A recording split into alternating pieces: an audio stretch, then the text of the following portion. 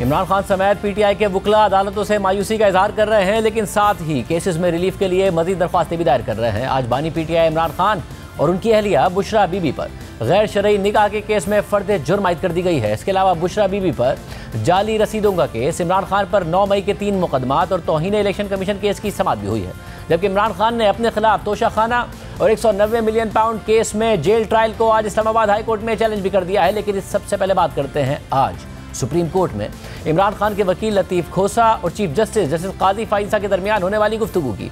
आज मुलाजमत से मुतल एक केस में लतीफ़ खोसा ने chief justice justice Qazi Faiza से इमरान खान की तोशाखाना केस में नाअहली के खिलाफ दरख्वास्त मुकर करने की सदा की, जिस पर जस्टिस काजी फाइजा ने उनसे कहा कि लतीफ़ खोसा साहिब, आप बाहर जाकर इल्ज़ाम लगाते हैं। एक तरफ़ आप अदलिया पर एतबार नहीं करते, दूसरी तरफ़ रिलीफ भी मांगते हैं। आप जल्द समात की दरख्वास्त दायर कर दें। कानून के मुताबिक जो रिलीफ होगा वो देंगे।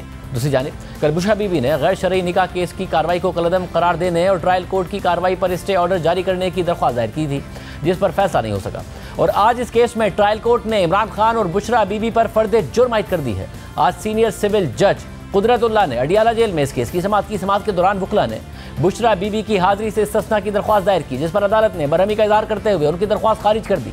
जज कुदरतुल्ला ने बरहमी का इजहार करते हुए कहा कि बुशरा बीबी को आज तलब किया था। वो किसकी इजाज़त से, कमरा अदालत से चली गई? पता करें, बुशरा बीबी जेल में कब दाखिल हुई और कब बाहर गईं। इस पर जेल इंतजामिया अदालत को बताया कि बुशरा बीबी ग्यारह बजकर तीस मिनट पर दाखिल हुई और एक बजकर पैंतालीस मिनट पर चली गईं। इस पर अदालत ने कहा कि आज चार्ज फ्रेम होना था। बुशरा बीबी को अदालत ने तलब किया था। वो बगैर इजाज़त अदालत से कैसे चली गई? इस पर बुशरा बीबी के वकील उस्मान गुल ने अदालत को बताया कि बुशरा बीबी की तबीयत खराब है, वो अस्पताल चली गई हैं। इस पर अदालत ने रिमाज दिए कि कल हमने बुशरा बीबी के वारंट ऑर्डर लिखे, लेकिन आपकी दरख्वास्त पर जारी नहीं किए। आप बार बार मेडिकल रिपोर्ट्स पेश करके तस्ना मांग रहे हैं। इस दौरान प्रोसिक्यूटर रिजवान अब्बासी ने बुशरा बीबी की मेडिकल रिपोर्ट्स पर एतराज़ उठाते हुए कहा कि मेडिकल रिपोर्ट में किसी ट्रीटमेंट का कोई ज़िक्र नहीं है। इस पर अदालत ने कहा कि इस्तना उसका मांगा जाता है, जो अदालत में मौजूद ना हो। अदालत ने मुलजिमा को तलब किया था। वो किसकी इजाज़त से अदालत छोड़ कर गई? इमरान खान को अदालत में बुलाएँ। चार्ज आज ही फ्रेम होगा। इसके बाद अदालत ने इमरान खान को रोस्टम पर बुलाया।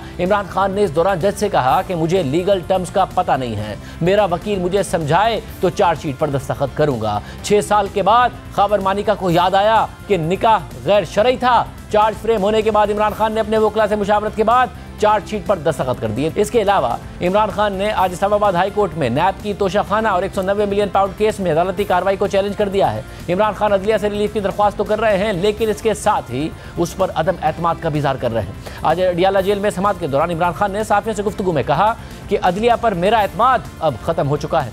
हमारी सारी पार्टी को खत्म कर दिया गया है। साइफर केस में गवाहों पर जिरा लाइव दिखाई जाए, इलेक्शन मुतराजे हो चुके हैं। दुनिया कैसे इन इंतबात को तस्लीम करेगी?